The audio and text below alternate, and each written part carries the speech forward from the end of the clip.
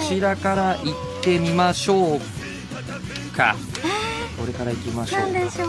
えっとラジオネームうどんさんからいただいたあのこちらなんですけど。こちら。ちょっと怒ってていただきたいんです。前半。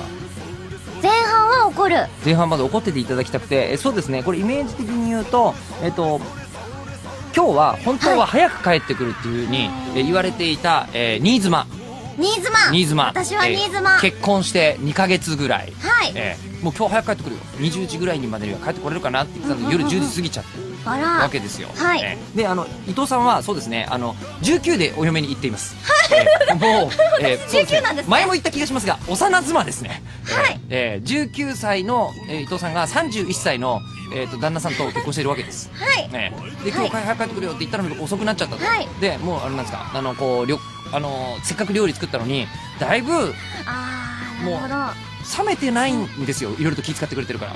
最後に火を入れる前の段階でずっと取ってあるけどずっ一人でと待ってたんですね。2時間も待ってたからもうちょっとプンプンって怒ってる状態で帰ってきてこれを言われてるわけです。プンプンぐらい。プンプンぐらいの状態でこれを言っていた前だいて。前半は怒っててで怒ってるんですけどこれ何が行われるか大体想像つきますよね。この間に。この間に？えこうこうされてるわけじゃないですか。でこうされている間にだんだん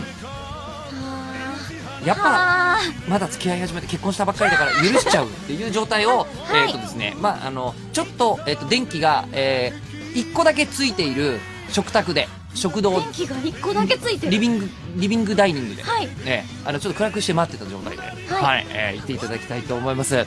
じゃあそれでは、えーまずは伊藤かなえさんに幼妻として行っていただきましょう。どうぞ。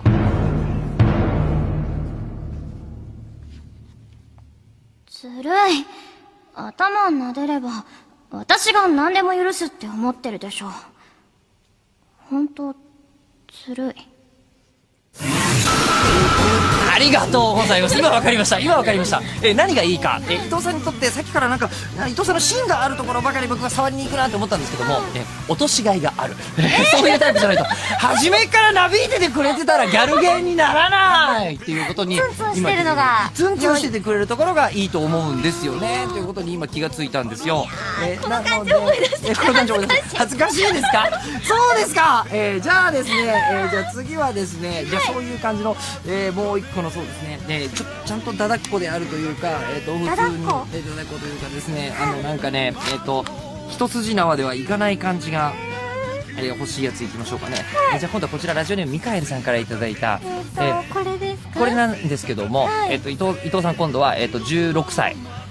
はい伊藤さん16歳16歳、伊藤さん。でそして、えーお兄ちゃんは、まあ、18歳です、はい。で普段からちょっとあのお互いに、えっとお兄ちゃんの方よりも妹の方がよく喋ります、うんうん、すごいもう主導権握ってる感じです。であの完全にお兄ちゃんのことをちょっとバカにしています。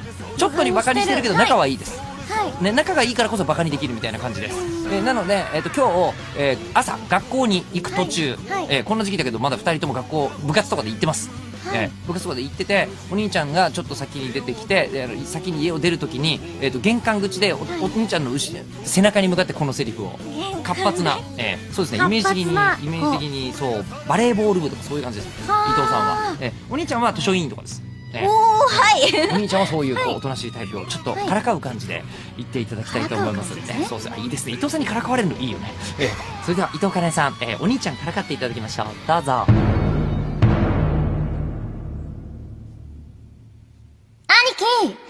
バレンタインに何もあげてないけどプレゼントちょうだい。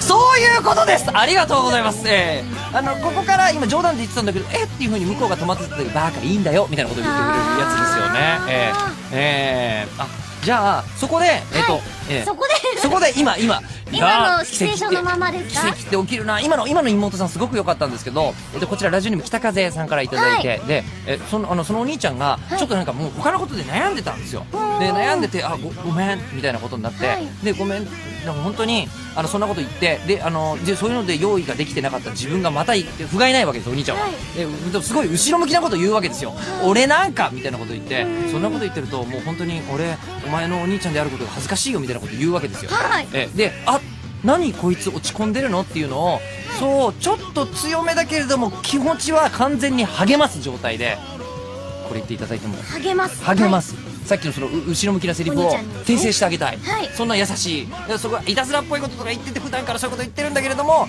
基本的には優しい伊藤かなえさんはお兄ちゃんをあげましたあげます。はいわかりました。それは、えー、ぜひこれはですねあの朝行ってしまって、あその時にバカぐらいのこと言っちゃってるわけですよ。であの朝いそのまま行っちゃってお兄ちゃんに傷つけてしまったかなと思ってるので今度は帰り学校の帰り。あ時間は経ってるわけそうそうですねお兄ちゃんよりも先に帰ってたんだけど1時間ぐらい校門の前でじ待ってますわざわざ。けなげ！私待ってた。待ってた。けなげ。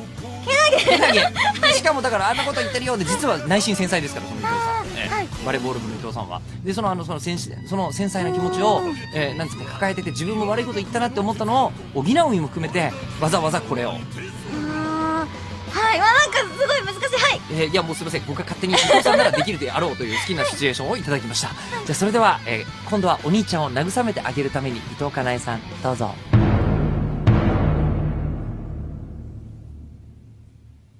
さっきの本気で言ったんなら嫌いになっちゃうよ。ありがとうございます！今、えー、なんとも言えないんですけどあの言い終わった後の2秒ぐらいの間が聞こえましたでしょうか、えーあの瞬間に伊藤さんちょっとあのお芝居されてましたよね、その部分も含めて、えーその部分も含めてあのなんていうんですか？あのこういう風に言ったらあの向こうは力強く力強くなってくれるかな？みたいなあのちょっと自信のなさげな上目遣い入りましたよね軽くね、えーえーなんかですね今あの YouTube 上で伊藤さんがお芝居してるの見られるらしいよ。映像で。映像で見ないと。そう、えーえーらしいですよ今。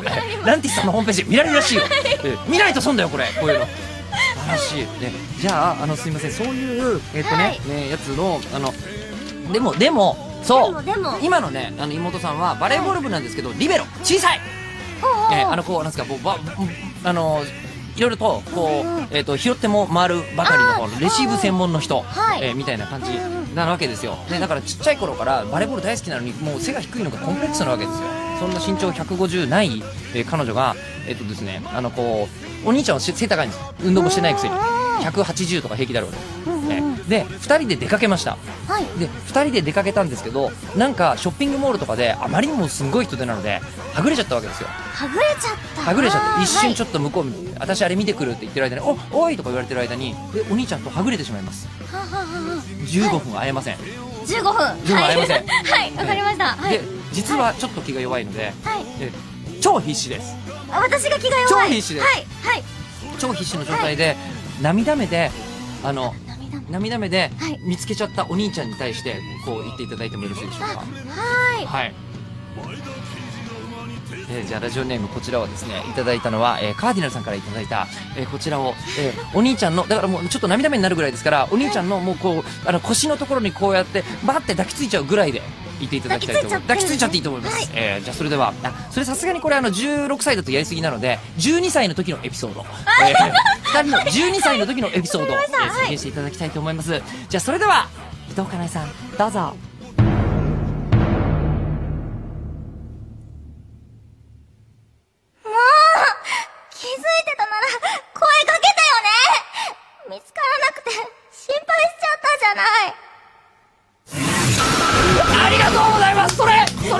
ですか？今すみません終わった後にレポートの提出みたいな感じでセリフを返してくれましたけど。え あのえもうレポートあのすみません A, A プラスプラスぐらいの、え今つけて返したい、え採点したかあじゃあじゃあ今のやつなんですけど、逆言ってみましょう、え伊藤さんが、はい。えっと35歳のお母さんになってはぐれてしまったはい。6歳の息子さんに怒りつつ心配だったのよって感じで言っていただくとどうなるのかあえっ、と今の同じセリフ今の同じセリフをはい。35歳のお母さんとして言っていただくとどうなるのか。35歳か。もうちっちゃい子です相手相手はい。もうちっちゃい子ですよ、えー6歳。じゃあそれでは、えーあえて実年齢よりはるか上のやつで言っていただきたいと思います、伊藤かなえさんどうぞ。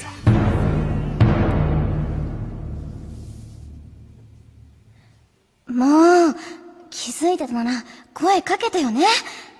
見つからなくて心配しちゃったじゃない35歳難しい難しくない難しくないですよ。何ですか？なんでなんでそんなになんでその照れるんですか照れるとこじゃないじゃないですか。今ものすごいこうもう、えーなんでうちの母は35歳じゃないんだろうっていうふうに、えー思う。60過ぎのあの母がいる私みたいな、えー当たり前なんですけど。いやちょっと待って、えーじゃあえっ、とねえっ、とじゃあ、えー、と今の今までのところが健全系だったんで。え何ですか？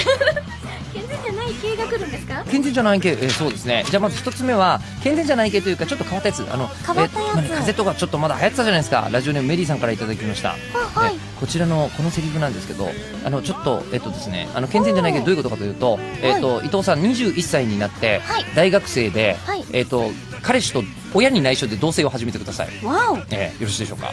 親に内緒で同棲を始めたはいいんですけど風邪をひいてしまいました。風邪をひいたはい。風邪をひいてしまいまして、はい。そしたら、えーもう親とかに言ってないから看病に来いとか言言えないわけですよ、うんうん彼氏の家に転がり込んでしまっているから、えでそしたら、優しい彼氏がすっごい看病をしてくれるんですけど看病してくれるんだけどちょっと過剰看病なんですよね。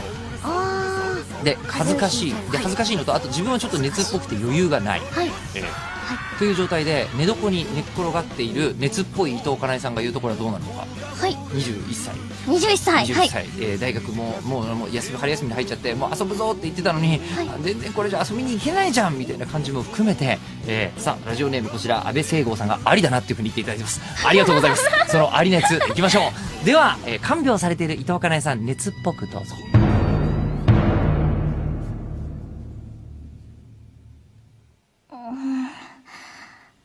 私が寝返りするたびに顔覗き込まないでよ。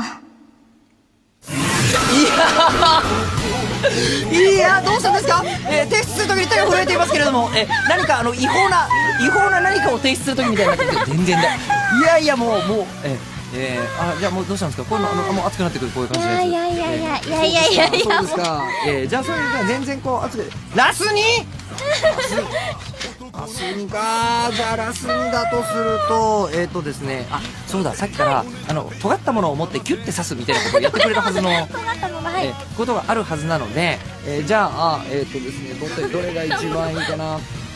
こちらは、えーラジオネームあるさんからこれ、とあるさんはい。はいい、ただいたやつなんですけど、はい。えっ、ともうこれすごいいろんな度合いを考えていたんですがあ、ー。えーまずはですね、えっ、と敵の組織と構想に入ってください。敵の組織？は敵い。の組織と戦いを繰り広げてください。はい。で敵あのそちらの女性幹部です。はい。女性幹部です。ね向こうのえっ、と中幹部ぐらいを捕まえました。捕まえた。捕まえた。椅子に向こうが縛り付けられてます。わお。後ろでに男性、はい。でそれでその人のことをもう凶器を持って、えーもう刃物とか銃とかを持って、はい。えー首のところにこう押し付けていただいてでもさらにそいつにも今までひどい目に遭ってるわけですよ。はあひどい目に遭ってるそいつをなんとか捕まえたわけですよ。はい。はいたぶっていただきましょう。私は悪ですか？アイトです、ね。はい。全力ではい。全力でいたぶっていただいてよろしいでしょうか、はい。えわかりました。さあもうなんですかハイビルのところにこう椅子にくくりつけられてるイメージですよ、えーじゃあそれではナイフを持っている一番怖い伊藤かなえさん、はい。えーただもうあの女幹部ですけどこう背が高いところじゃなくて普段はみんながあんな可愛い子がそんなことしてるわけないよっていうような二面性のあるタイプだと思って。お今今。ー。これねこれ本当そう伊藤さんがねある瞬間にこうパッて入る瞬間があるんですけど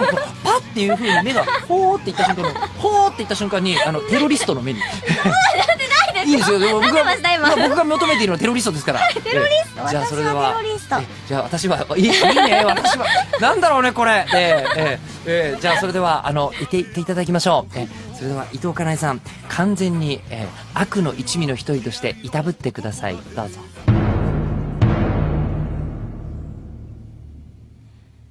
ごめんなさいわ。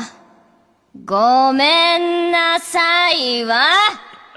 すいませんでした。ごめんなさい。いろいろとごめんなさいいやいやえラストなの？いやどうしよう。今のちょっと今のシリーズすげえよかったんだけど。すげえよかったんだけど。あでもやっぱり最後はなどれがいいかな？えー、えーとすいません。今やってくれたじゃあもうすいません。あえてあの幹部があの幹部がいたからこそあえて、えーこちら行きたいと思います。ラジオネームカーディナルさんからいただいたこちらなんですけども、えー、とこちらを、えー、と毛布をか小脇に抱えている7歳の伊藤かなえさんが、えっ、と今日遊びに来ている、えっと15歳のお兄ちゃんに向かって、えっとベッドに行く前にはい。言っていただきたいと思います。7歳。7歳、はい。7歳。7 7歳歳。今もう言い方が7歳になってるここですよここですよ。これが伊藤かなえの凄さ、ええじゃあそれでは、えー伊藤さんに今度言っていただきましょう、えー小脇に抱えているパジャマ姿7歳の伊藤かなえさんがどうぞ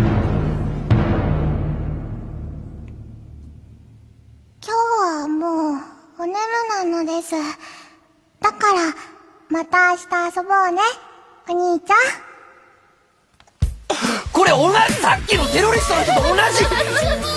2分ないんだよ間に。えー、それで伊藤さんどっちがやってて楽しいですか？ええー、両方。両方ですか？そうですか